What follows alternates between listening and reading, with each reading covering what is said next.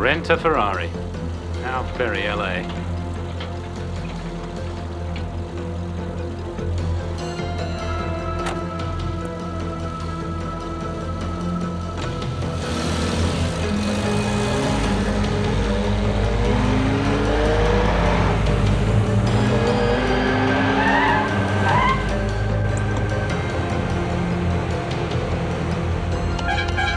This is very, very smart, Gordon. This guy probably carries a gun.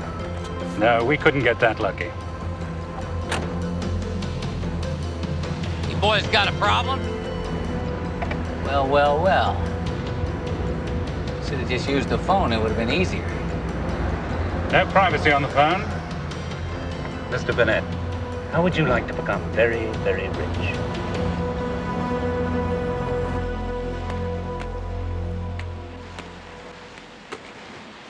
Terrific lady, Caitlin. Quite the artist. Yeah, my wife's terrific and the surf's up. So what do you want? We hear you're a man of many talents.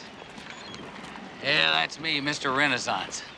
But I'm not flattery operated, in case you haven't noticed. So once again, what do you want? Well, I've been doing some research into your background, Mr. Uh, Sonny. uh, yeah. Well, our product, like any other, needs to move fast. You make it, you get it out while it's hot. We're having a little trouble with one of our distribution points. Actually, it's down in your neck of the woods. Miami's a big woods. Yeah, that's why we're a bit lost.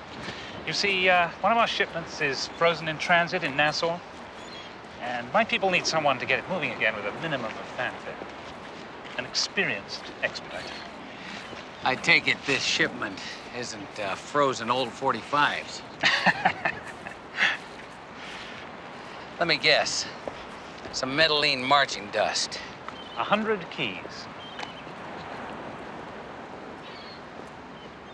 Uh-huh. And if I expedite things for you? A third of the product has your name on it.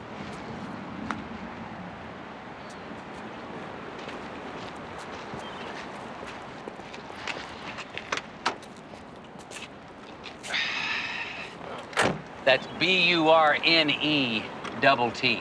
Wonderful. We'll see you in Miami.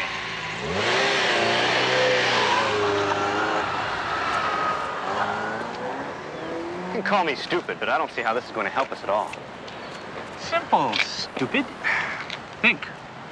What happens if Caitlin Davis doesn't go out on tour? But she wants to tour But what if she can't? because she's. No one's going to be surprised if poor Kate is caught in the crossfire of her ill-starred love. Sad, but not surprised. And the 55 share of her last album reverts back to the company. The last album. Yeah. The farewell album.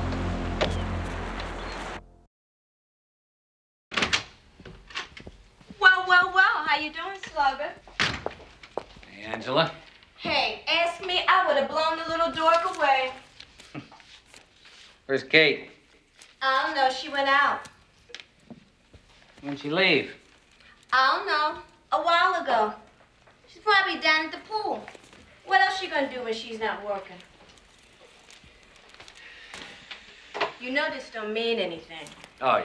You know, you two need to spend more time together.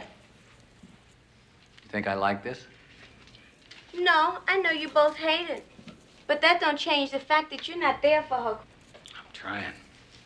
Trying ain't gonna get it. She needs you to be there. She can't even keep her mind on her business worrying about you. Never knowing when you're gonna blow in or blow out. She's miserable behind it.